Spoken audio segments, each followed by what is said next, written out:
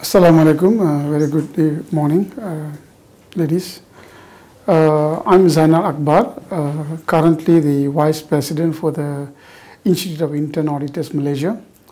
Uh, I've been in the internal audit career for the last uh, 20 years since I graduated in 1998 from the Curtin University of Technology, Australia.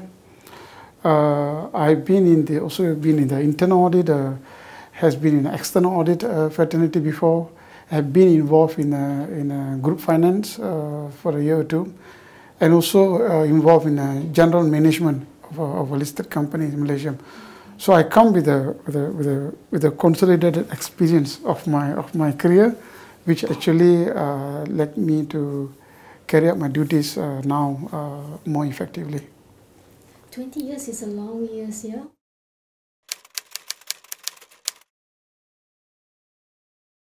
See, as, as, as specified by the IPPF, uh, IPPF is, a, is a Institute of Internal Auditors um, framework, is, is a code of conduct, uh, is, is a practice guide, it's all in one, which is known as an international uh, practice, uh, professional practice framework. So, uh, what actually the role uh, has been uh, prescribed by the, by the, by the standard is that uh, See, uh, internal audit is an independent uh, objective assurance uh, consulting um, activities designed to add value and improve organization. Uh, this is a very uh, uh, interesting objective whereby last time, in generally people know that internal auditors is normally checking people who checks, who done checks, you know. And, and of course, maybe true that certain point of time, but now it's more towards in the end, you internal auditors you be able to give an assurance uh, to the, the stakeholders or, and also add values to its auditees. Mm -hmm. So that is a new role uh, that we are playing now uh, for some, for some time now.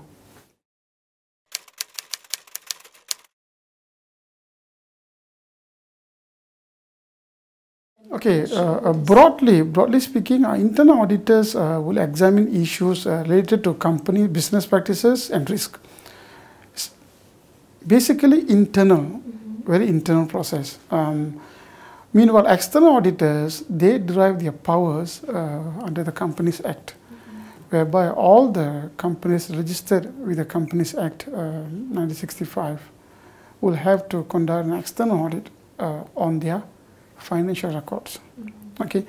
So, uh, external audit um, uh, examine the financial records and issues um, uh, an opinion regarding the financial records only.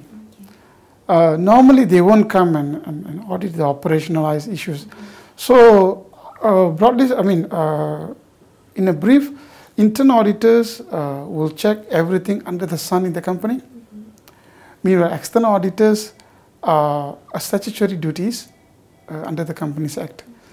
even though the name sounds similar, but actually two distinct a field of uh, field of work. I see. Yeah.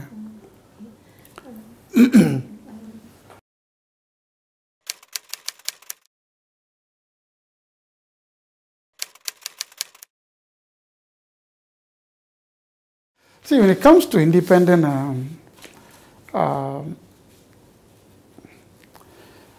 in this case, as, as we all know, that uh, internal audit is a third line of defense uh, yes. in any organization. Mm -hmm. Uh, when it comes to the first line of defense will be the, uh, the effectiveness of the controls that you have. Uh, for example, uh, simple controls like having SOPP in place, having a limit authority in place. The second line of defense will be the um, the management himself, the management of the company, who serve uh, as, a, as a check and balance and performing their executive duties and the third line of defense will be the, uh, the Institute of Internal Audit, I mean, the, the internal auditors, where they will come in as, as to perform a checks on things that has been executed earlier mm. by the management. So um, when it comes to independence, uh, it's a very valid question, uh, one, um, because you were the staff of the company, you probably would be in the company looking at the staff every day uh, and actually Malaysian culture actually is very tough, you know. Uh, you know. But but uh, that, that is that is where the, the, the internal audit breed themselves is very very um, niche, whereby uh, we have to we have to be focused in our objective, which is to provide independent assurance to our stakeholders. At the same time, we have to add value to our auditees. You know, we cannot just say, okay, I find this, I find that. So what? So what is the risk to the company? Because there is no risk, then why you find it? You know, it's not a finding in the first place.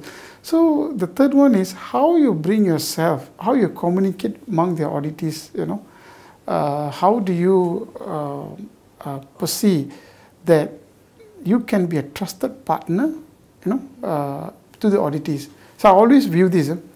Uh, I always told these people that uh, I'm independent. That means that independent here means that you are not uh, subject to any uh, operationalized uh, activities in the company. For example, you won't be involved in the company's day-to-day -day activities. You have to be very precise with that.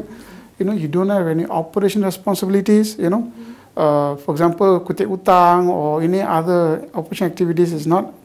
And and at the same time, uh, you must be able to communicate well with the auditees on your presence and convince them that you are here to help them actually. Yeah, that's that's a way that rather than to check on that. Rather than check on that, you have to get their buy-in in order for you to move forward. I mean, I'm talking based on experience here. Mm -hmm. Yeah.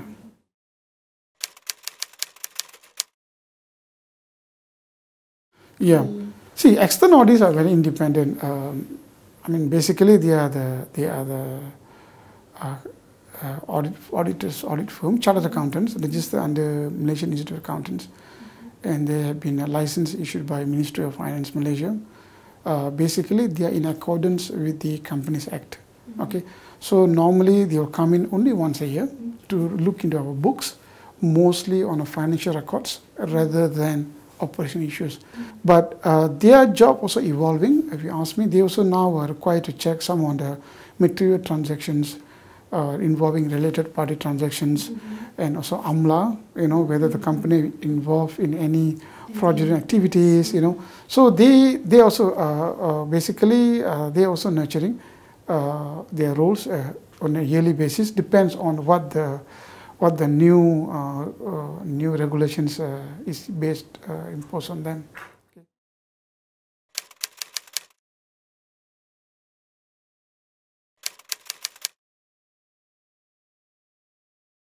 Uh, this is just a good question.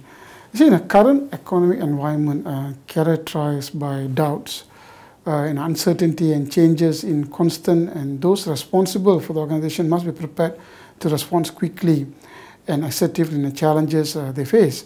Uh, internal activities can play a relevant role here by providing information that may allow those in charge to decide uh, more knowledgeable, informed decisions. I'll give an example um, we don't have a direct role in nation building, but we have an indirect role in corporate governance, mm-hmm. you know, uh, and also uh, providing uh, independent um, assurance to the stakeholders that can help them make informed decisions. For example, let's say you are an investor, you want to involve in, the, you want to invest in a company, a foreign investor, okay? So you look into what are the controls that we have. You know, they look okay. They have own internal auditors team there, and quite uh, they've done a good job. You when you do a duty evaluate all these. See that your presence make them more comfortable to invest in you. So those are the economic generation that we make. You know, a company with internal auditors is much more attractive to the to the foreign investors, especially than a company without internal audit practice uh, anything. So it's an indirect contribution uh, to the nation building by, by enhancing corporate governance in a, in a, in a basically an listed company environment, you know, enhancing, enhancing the economic uh, uh, growth in, indirectly, yeah, I would say.